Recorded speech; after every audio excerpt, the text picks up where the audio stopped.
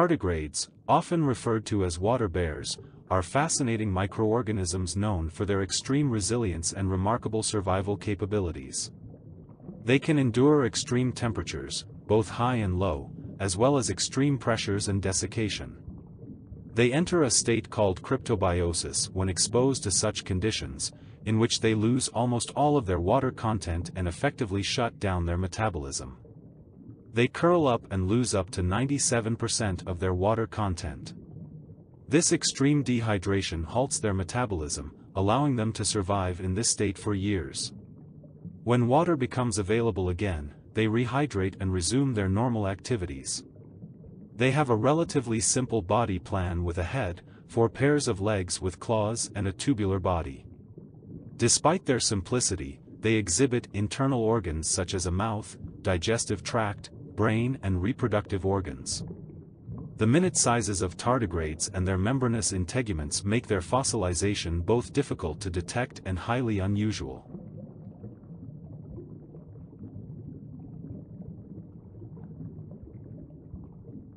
Arthropods, that mean joint foot, are invertebrate animals. They possess an exoskeleton with a cuticle made of chitin, often mineralized with calcium carbonate, a segmented body and paired jointed appendages. In order to keep growing, they must go through stages of molting, a process by which they shed their exoskeleton to reveal a new one. They are an extremely diverse group, with up to 10 million species.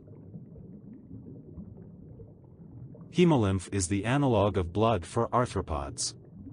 An arthropod has an open circulatory system, with a body cavity called a hemocoel through which hemolymph circulates to the interior organs. Like their exteriors, the internal organs of arthropods are generally built of repeated segments. Their heads are formed by fusion of varying numbers of segments, and their brains are formed by fusion of the ganglia of these segments and encircle the esophagus.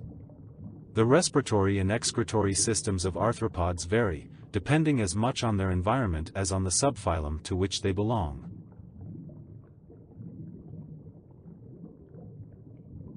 Burgessia was likely a benthic sea floor dweller that probably could not swim.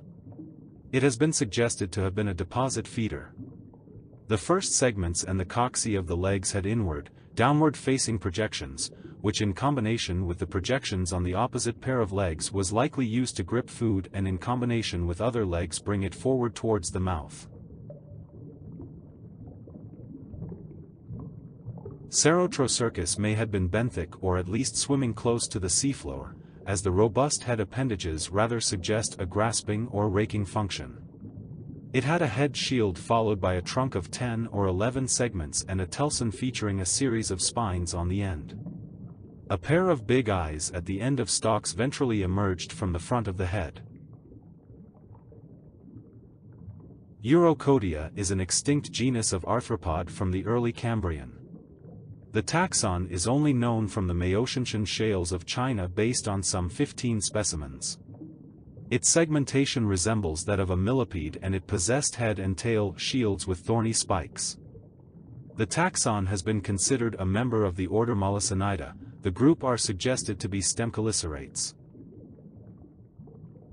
Wingertshellicus measured about 7 centimeters, the body of consists of just two main parts, a short head and an elongated trunk.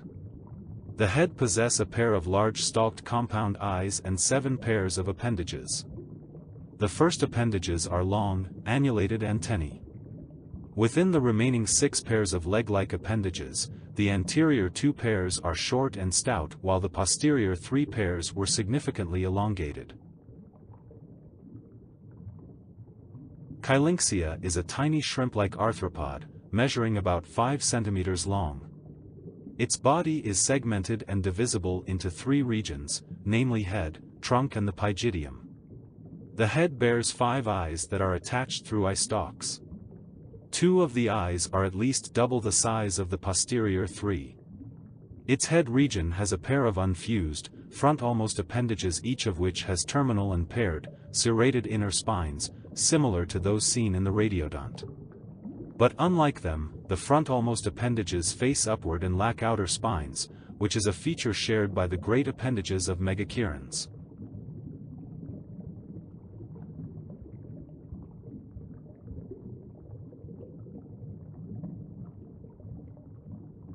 The head of Cambropachycope have unusual anterior projection of the head that bears single large compound eye.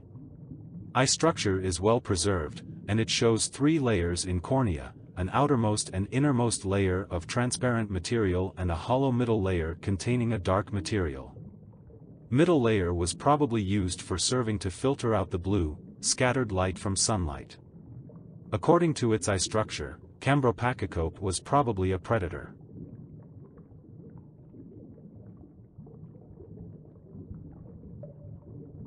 With Goticaris, these animals are hesitantly presumed to be an early offshoot under the clade Pancrustacea in original description. This genus is noted to have had two large eyes on each side of its head, with one massive compound eye comprising the entire front of the animal's face. It has a sac-shaped head,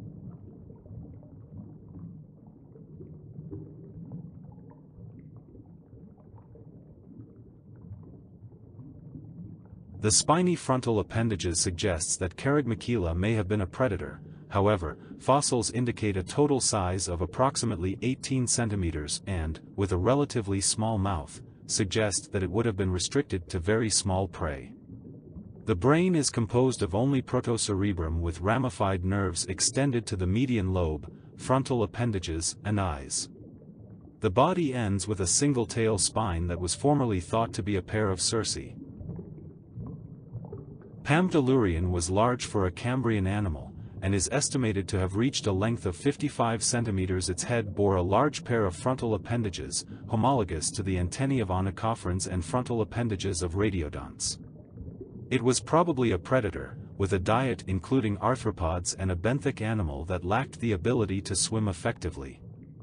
It was one of the largest and most abundant organisms in the Sirius Passet biota.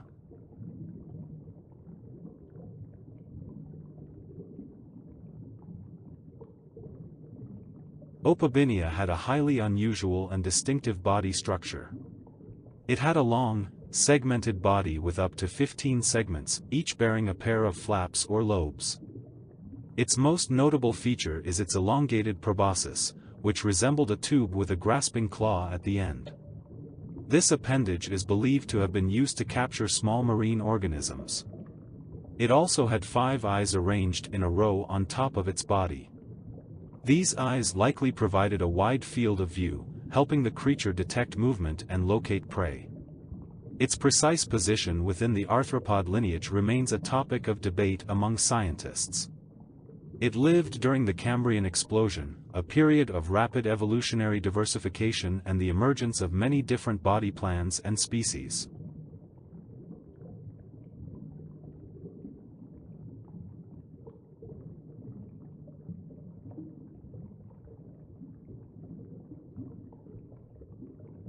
Tamisiocaris is a radiodont genus initially only known from frontal appendages from the Sirius Passet in northern Greenland. Further study in 2014 revealed that the frontal appendages were segmented and bore densely packed auxiliary spines, which were adapted to suspension feeding in a manner analogous to modern baleen whales.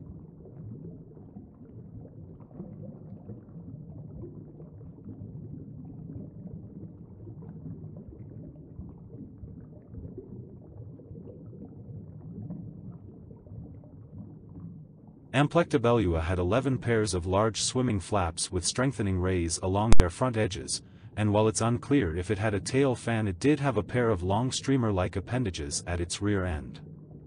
Underneath the smaller pairs of flaps on its neck there were at least three pairs of gnathobase-like structures that would have been used to hold and shred up prey after transferring it from its pincer-like front appendages, chewing it up before passing it up to its mouth.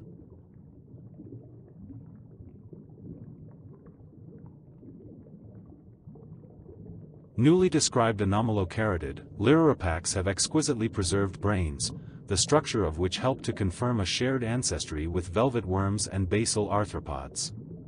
It is named after the outline of the body of this genus, which resembles a stringed instrument called a lyre, as well as its presumed predatory lifestyle.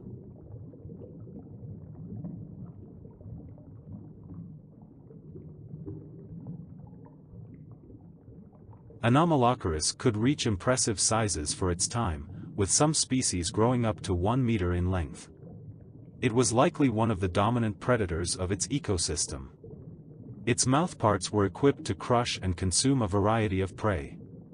It had large, complex eyes that were composed of many individual lenses. This suggests that it had excellent visual capabilities, allowing it to spot prey and navigate its environment. In the early days of paleontology, the mouth and body of Anomalocaris were initially interpreted as separate organisms due to the incomplete nature of some fossil specimens. It wasn't until later that scientists realized these were parts of the same creature. Houcaris saron, known from Maotianshan Shale in Yunnan, is first described in 1995 as Anomalocaris saron. This species is only known from frontal appendages. There is a specimen that is previously considered as whole-body fossil of this species, but later study shows that this specimen is not belonging to this species.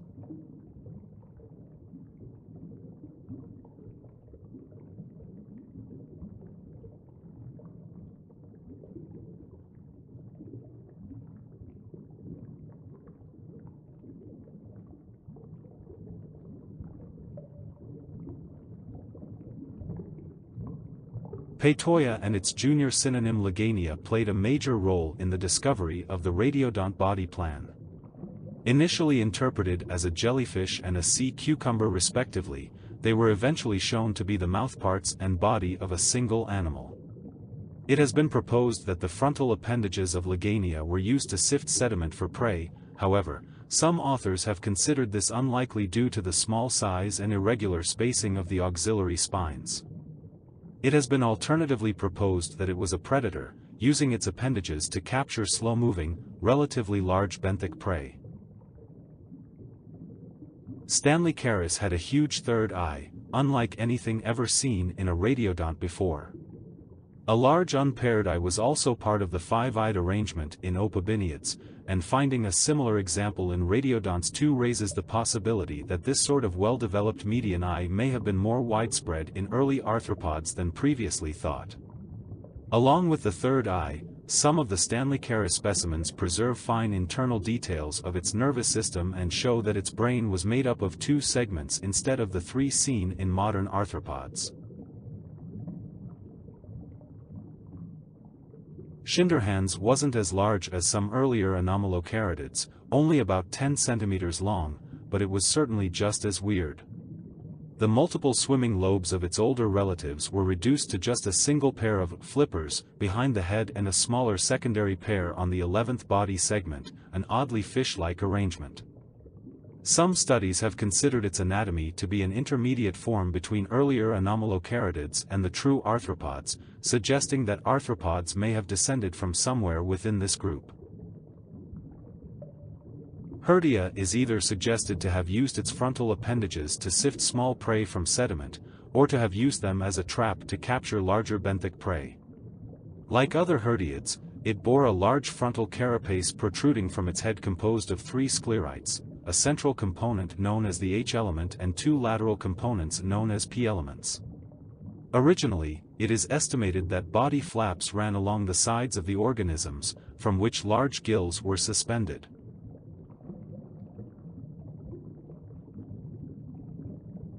As much as it might look like a sci-fi creature design, Aegirocassis was actually a real animal, an anomalocarid from Morocco, living about 480 million years ago. Reaching lengths of around 2 meters it was probably the largest animal alive in those ancient seas, but it was no fearsome predator. The invertebrate equivalent of a whale, it was a specialized filter feeder, using baleen-like structures on the great appendages in front of its mouth to collect plankton from the water.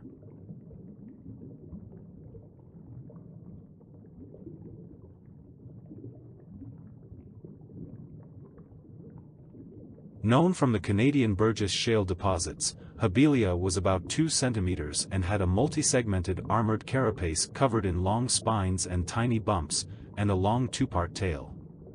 Its head was especially complex, with numerous appendages making up an intricate set of mouthparts specialized for crushing and processing small hard-shelled prey, an arrangement convergently resembling the jaws of mandibulates.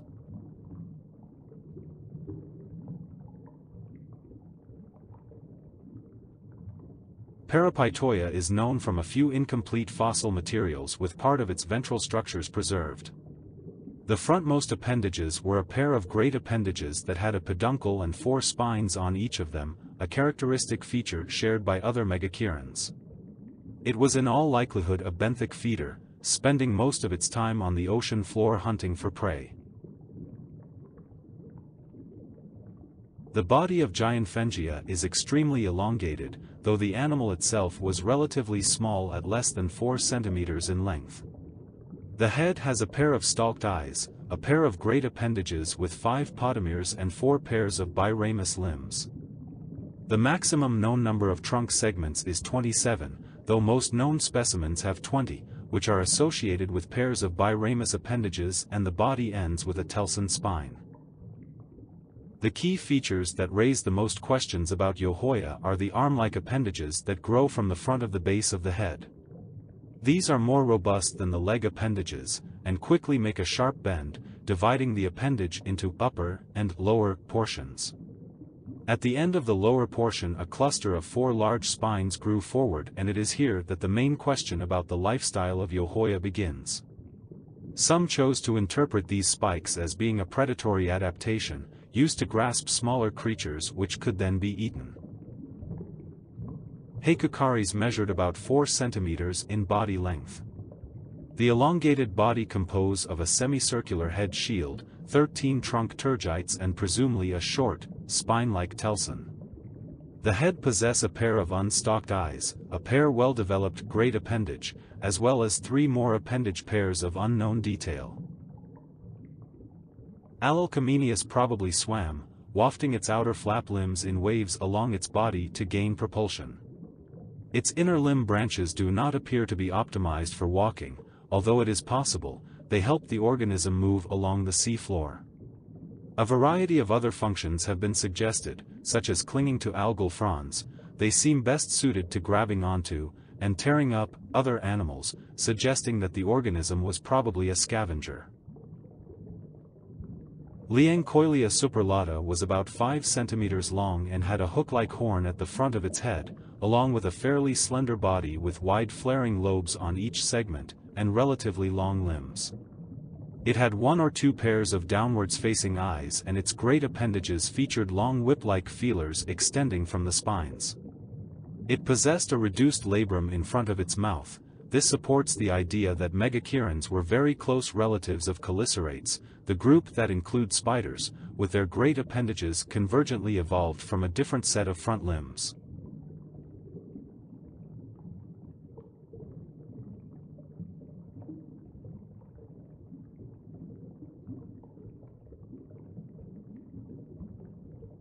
Marrella is likely to have been an active swimmer that swam close to the seafloor with its swimming appendages used in a backstroke motion, with the large spines acting as stabilizers, as well as possibly also having a defensive function. They have been suggested to be filter feeders, with food particles sifted out of the water column by the posterior appendages during swimming before being passed forward by the appendages towards the mouth. Furca fossils have been found in sediments indicative of shallow marine habitats. Since appendages and other body parts are unknown, no firm conclusions can be made of the biology of Furca. However, comparisons to other marrellomorphs and living arthropods such as horseshoe crab suggest a benthic marine lifestyle, dwelling on the sea floor. It is characterized by a broad head shield with three pairs of prominent spines, front, side and rear. Like previous animals, Mimetaster probably lived in small groups on the seafloor, walking in a tilted, upright posture propped up on its two uniramous legs.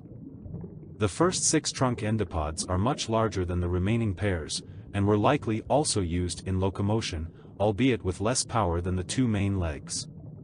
They are thought to have been deposit feeders.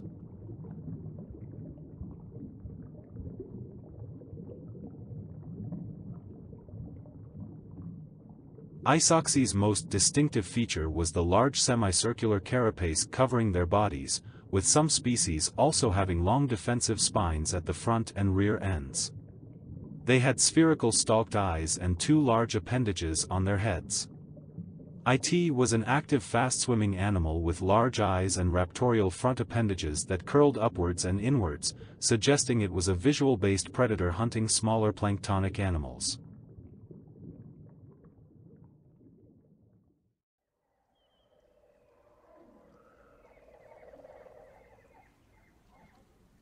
Rhyniella remains were discovered in 1919.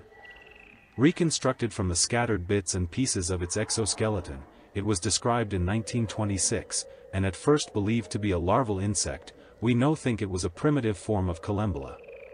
It grew to a length of about 2 mm and would have been a scavenger, feeding on rotting matter. For some time it was believed to be the only hexapod from the early Devonian.